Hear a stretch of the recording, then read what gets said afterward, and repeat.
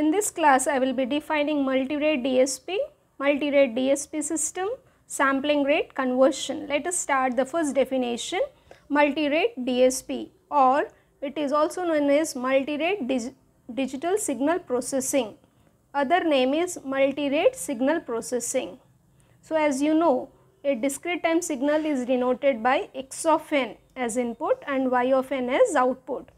When the input signal x of n is passed through a system of impulse response h of n it gives y of n. So, sim discrete time signal is represented by x of n or y of n whereas a system is represented a discrete time system is represented by a difference equation. So, what is multi-rate DSP? The processing of a discrete time signal, the processing of a discrete time signal at different sampling rates in different parts of a system is called multi-rate digital signal processing or multi-rate signal processing. The processing of a discrete time signal at different sampling rates in different parts of a system is called multi-rate signal processing. The next definition is multi-rate DSP system. The discrete time systems that employ sampling rate conversion while processing the discrete time signal.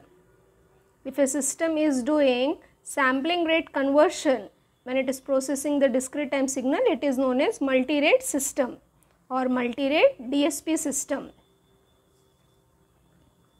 Third definition is sampling rate conversion. The processing of converting a signal from one sampling rate to another sampling rate is called sampling rate conversion. The process of converting a signal from one sampling rate to another sampling rate is called sampling rate conversion. The two ways for sampling rate conversion in digital domain are first is down sampling also known as decimation. The second one is upsampling or interpolation. In this class we have seen what is multi multi-rate signal processing that is processing of a discrete time signal at different sampling rates in different parts of the system is called multi-rate signal processing. Then multi-rate DSP systems.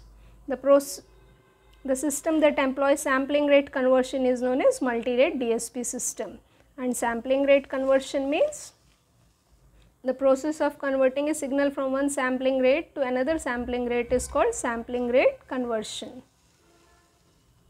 I hope you have understood the three important definitions of multi-rate signal processing.